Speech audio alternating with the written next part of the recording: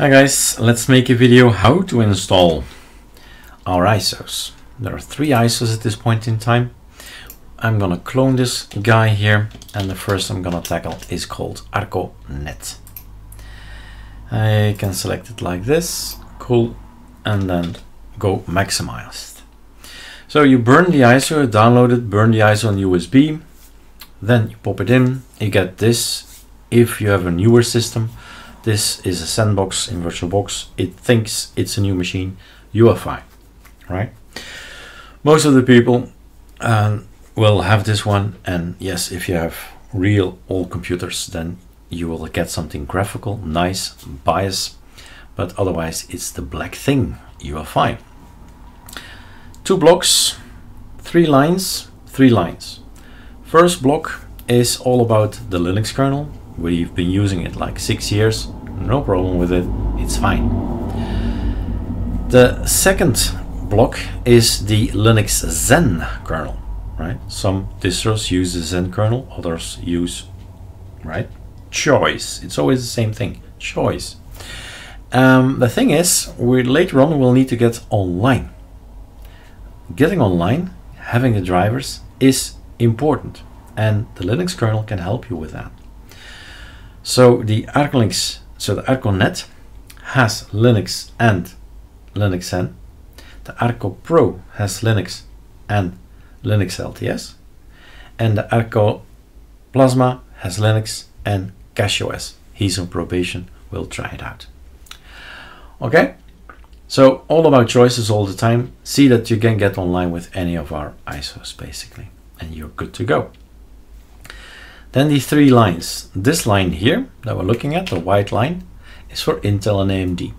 This line is for in NVIDIA, the newer NVIDIA cards that work with NVIDIA DKMS. All the others need to go, others in the sense of NVIDIA guys, need to go for safe graphics no mode set and install the 340 or other drivers. Anything on virtual machine like QEMU, VirtualBox, GNOME boxes, VMware, right? They choose this line or that line. This is just a choice in kernel, but basically these lines say no NVIDIA. They blacklist it. So you boot up.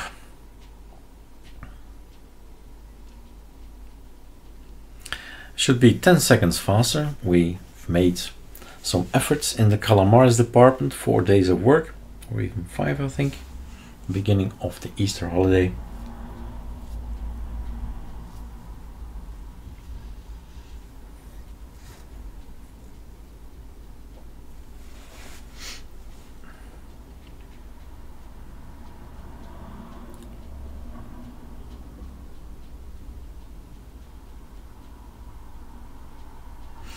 One of the things these days, again, right, updates, updates, are just on the receiving end. Control F used to work. Control F and it went full screen, right? So no matter, we'll do it the old way.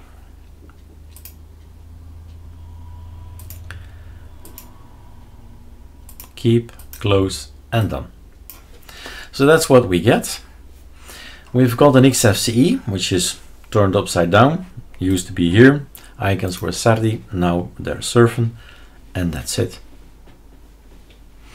We got a new welcome app in the sense that we have a new choice. Two things, major important things. This is you're on the beach offline, right? And that what you see is, is what you're gonna get. So this will be installed on your system bit by bit. Cool. You'll have an XFCE. This one is your XFCE is going to be removed and you need to choose. This button matters because you want to have a fast installation. You click the button, whether you're in Australia or South America, it knows where you are. It's going to look for the fastest servers, going to change them, and the installation will go fast. I'm living in Belgium. If I take the service from Australia, it will take me hours. to install it. It's the distance, right? So updating, update arch mirrors is important. Maybe this is important as well. You know yourself. How many partitions did you use? How are you mixing things together and getting stuck? Or do you have one operating system per SSD? That's our advice. So anything that is here marked, click on it, delete it, click, delete, click, delete, and then apply it. And start from scratch. That's good for any any operating system alike, Mac, Windows, Linux alike. Okay. That leaves us, let's go for it, right? So this is an option, install grub the three choices. And I'm gonna explain, well, show you this one, which is basically the installer you see everywhere. This is where do you live? What keyboard do you want? Oops how do you want to do things? Often we don't have that many choices and they restrict people to ButterFS, for example, or XFS, and that's it. I give you all the choices, you choose. Next, you put in your name. Yeah, make sure it's the same password, just the detail. And then next. And off you go, right? That's the easy installation. What you're gonna get is this. Then you use Sofirem, you install some more and be done. Or scripts, of course. The advanced online thing is, well, first of all, make sure you're online. Some countries need these special VPN connections, right? So add them, there are lots in there. You never used them, don't know it, well, play with it, but we don't use it in Belgium not necessary. But there it is. Advanced installation online will remove XFCE so you better choose a desktop. That's the message right? Again here we have the choices. Install grub install systemd boot or install rEFInd. Let's use the new guy. And then everything gets a little bit more complex. You need to know what you're doing. But if you are already a user from ArcoLinux then you know, you recognize this. Our advice is always learn the English terms because you need to DuckDuckGo it and find more information and solve your things or, right? Know your technical terms. Ask ChatGPT for information, but you need to know the technical terms. So leave it in English is our advice. Kernels, there are two kernels already on your system, but you can decide to add more kernels no problem. Next, some of the old machines require an extra package for video. Here it is. In the beginning of the um, well, the creation of the ISO, SDDM was not active. That was scary. That means if you forgot to select it, if you forgot to do that, you ended up in a black screen. And if you're a new guy, you have no idea what to do next. So by default, SDDM is installed and is active. Right? Safeguard. LightDM is a choice, for instance, for think about Linux Mint. Linux Mint is the, the origin for Cinnamon, and Cinnamon and LightDM, right, are a match, all Linux Mint. But here we take SDDM as default. But you can overrule it and say, okay, install me LightDM and make it active. Will do.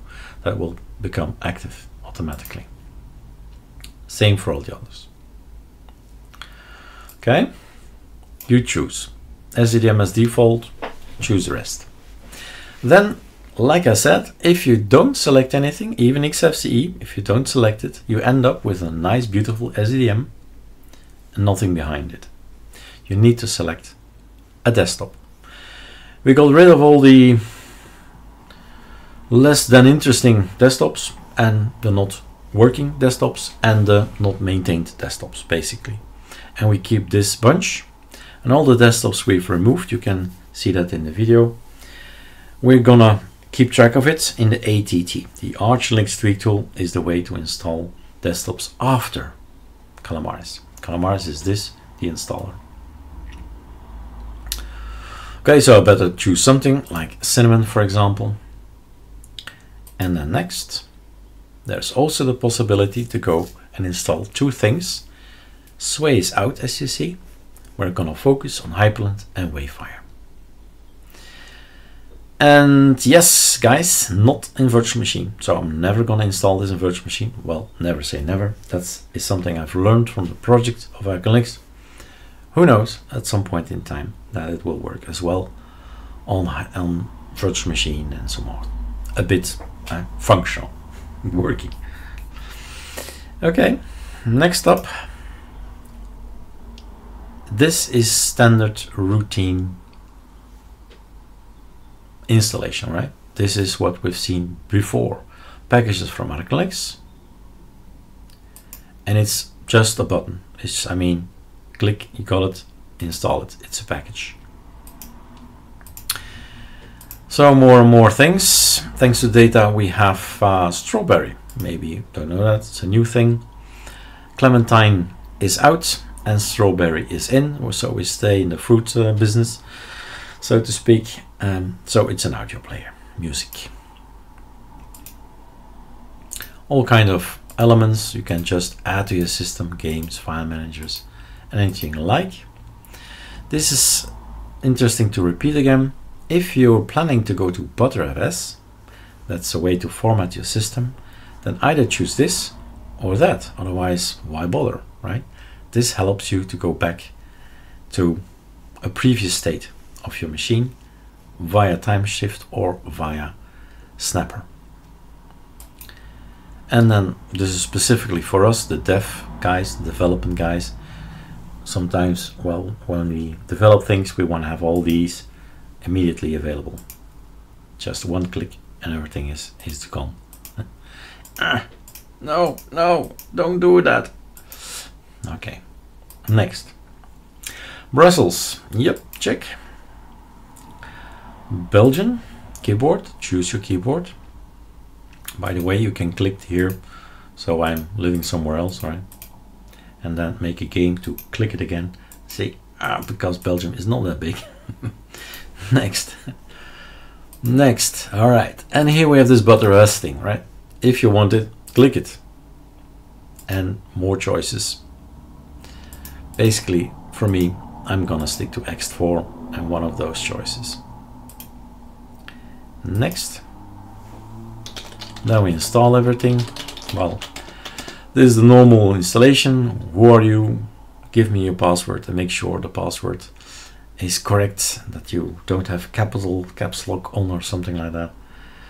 Your fingers are positioned correct if you're typing blind and maybe do a check again. Voila. Next. And install. There we go. We'll see each other again after um, the pause. Let's wait the, till the machine has installed everything. See you in a bit. And off we go. Interesting a pause like that, right? I'll be right back. That's um, too bad. The official look is different, of course. When you install the machine, what you do is you pop out the USB. That's something you should do. And then you have a different view, of course. You just see our little icon. And that's great. Looks is everything. Oops, what am I doing, Erik? What am I doing? So this needs to go out. Cancel. Let me do this. I don't want to make another video. Third attempt. So this look. That's the look that we have. And now we talk a little bit about rEFInd. So I stop the countdown because he's counting down as you see. With the arrow I move about. This is reboot computer, shutdown computer, and this is reboot to computer setup utility. So basically my motherboard, my setup in VirtualBox here.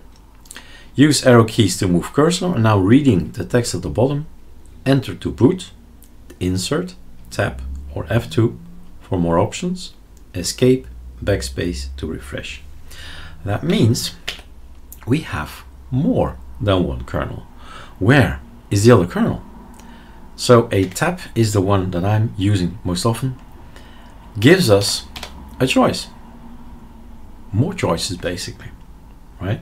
To boot into Linux Zen in this case, or at the uppercase here, just the Linux kernel. So it's a choice, escape, tab, click, and we're booting in Linux Zen. So that's um, the whole video. What you do afterwards, as any user, you remove the stuff you don't want. You install the stuff that you do want.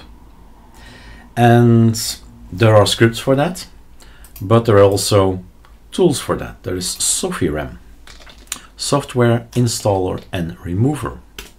So that's an application you can just run afterwards. And basically it's your Calamares selection. So Calamares is to install stuff. And here again, right, VirtualBox, Control F, Control F, uh-uh. So we need to help him and say, look, there is more real estate on my screen. Really is. And it's in display, in here, that one, apply it, and then keep it, and then this. there we are, right? Nicer. And as you see, it's a little bit designed, not much, but there is a little bit, well, first impression is everything. This is your look you get into. And then it's up to you, you go and design it the way you like it.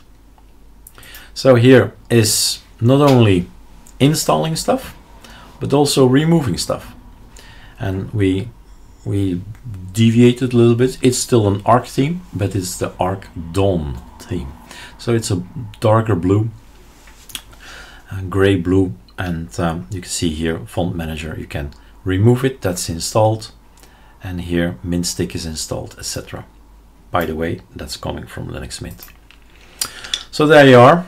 You have now an up-to-date system. You can remove things. You can do all kind of things and maybe something that we beta users and beta testers uh, are using. So if you do a clear, that's everywhere in Linux, there's something called use. Sometimes we'll ask you, because things are getting complex, you type use and basically I know exactly that you're having the Arconet that it was built on April 11th, a few hours back that Cinnamon is installed on X11 Wayland session. There is an experimental Wayland session possible. Try it out, see if it works.